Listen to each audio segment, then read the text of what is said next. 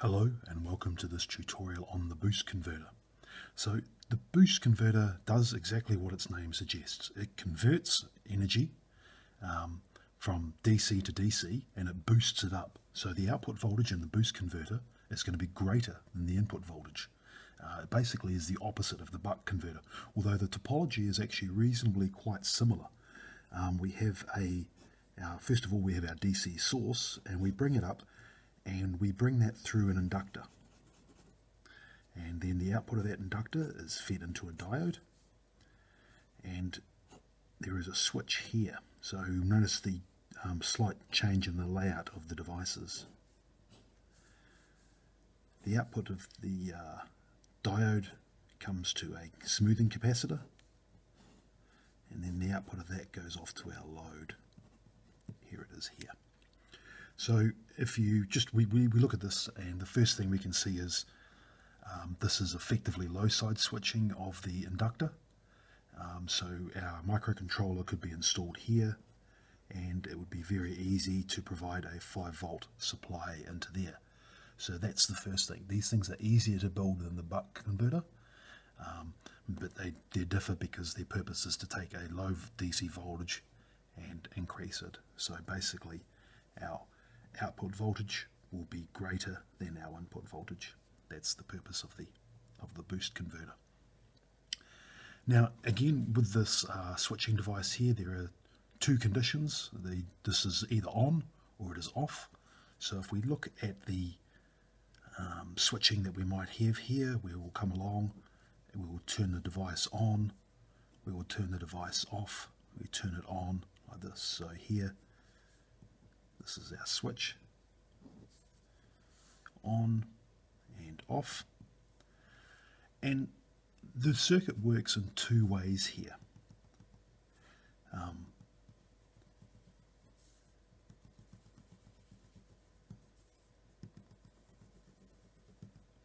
in the on condition, when switch 1 is on, the circuit is extremely simple. Basically, this MOSFET short circuits all of this and our circuit effectively becomes our inductor, our MOSFET, our DC supply, and that's it. Okay? That in the on when the switch is on, we effectively have a very low impedance path down through here, which effectively shorts all of this out and renders it useless for the purposes of the analysis of what's going on. So we have a current flow out of our battery like that. Um,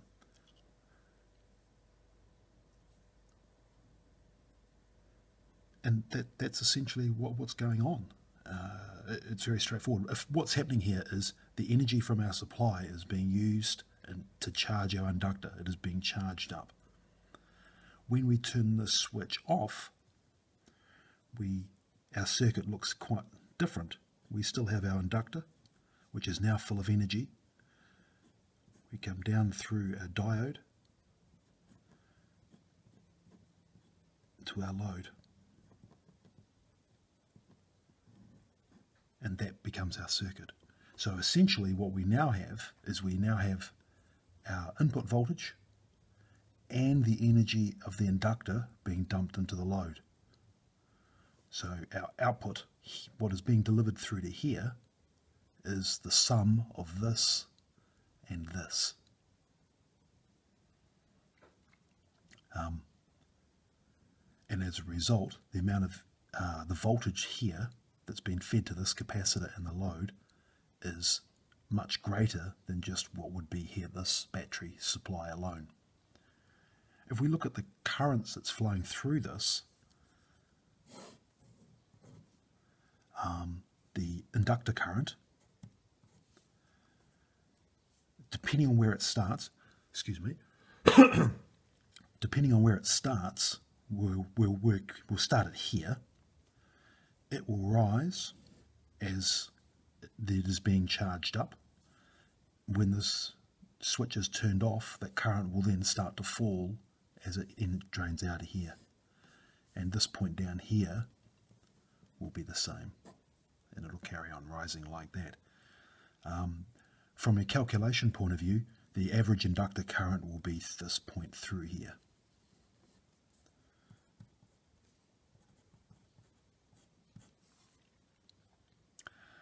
Um, this does raise issues around what we call continuous mode and discontinuous mode, which I'll come back to in a minute. When we look at what's happening in the capacitor, it's the other way around. So our capacitor is normally considered to be like that. When the device is on, our capacitor is discharging into the load. So if this is a zero point here and we're looking at our capacitor, we will see that it is actually negative and it's like that. We end up with a waveform that looks like this.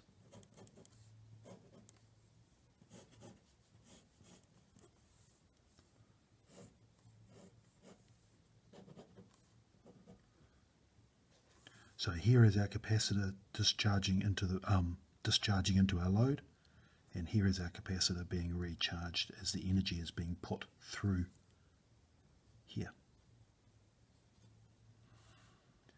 Um, and, and, that's what we see going on. The, uh, the that should be I, sorry, current in the capacitor. Um, this point here is often considered to be the IC. It's normally often drawn as a straight line, but in reality it's at a slight curve there. Uh, to calculate what these values will be, uh, it all really depends on the, um, the amount of ripple you want and the amount of ripple you're going to expect. So the value of capacitance here, uh, without going through all the maths and, and boring you with that, the capacitor will be the average current that you're going to be expecting out times the duty cycle, the period, over the ripple. And the inductor is quite similar. The inductor is the input voltage times dt over 2 times the input current. Now, I mentioned earlier about discontinuous mode. Discontinuous mode is often considered to be when this charges up but it's turned off for either too long or the inductor is not large enough to handle the amount of current that's being delivered into it and this discharge rate carries on until it gets down to a zero point and then goes flat. Essentially you end up with a, a waveform that might look like this.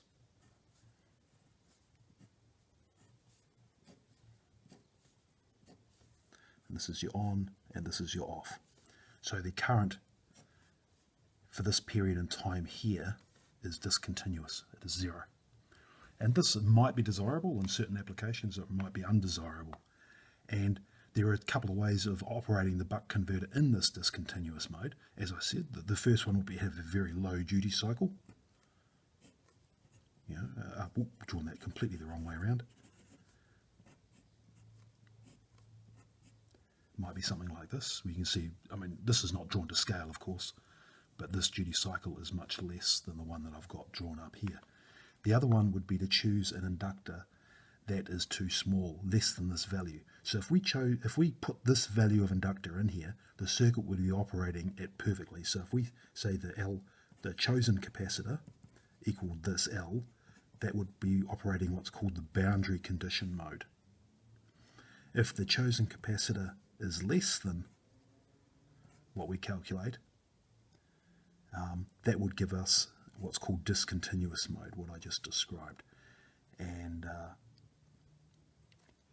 if the chosen capacitor is greater than that, then that would give us continuous mode. And that, that's fine. This is what most people do. So if you get a calculation that comes out to be, say, 23 henries, then you'd stick a 50 henry uh, if, the calculation came out to be something like, say, 23 millihenries, then you'd stick a, a 50 millihenry inductor in there or something like that um, to, in, to ensure it doesn't move into this discontinuous mode.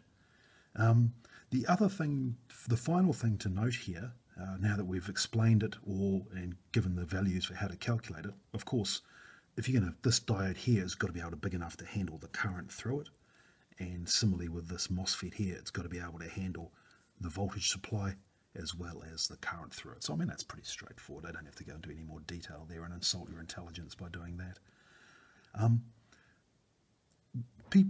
the boost converter does not create energy. Just because you've got an output voltage that is bigger than your input voltage doesn't mean you get free electricity, like some people seem to think.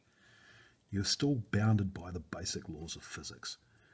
The, you're going to have power input to this device, which is obviously going to be the V in times the I in. You're going to have the output power, which will be your output voltage times your output current. And so if we double the output voltage, our, our, the current that we can draw out of it is going to be much less. Um, bear in mind here, here's our input power, which is our voltage and our current. Here's our output power.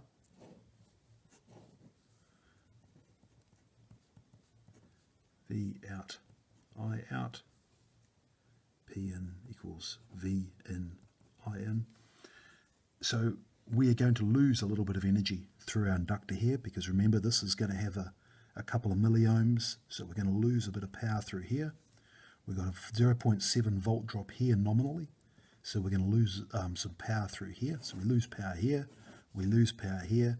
When the device is turned on, this has got a resistance between the drain and the source, so we lose a little bit of power here. So here are three losses that we're going to have in our boost converter.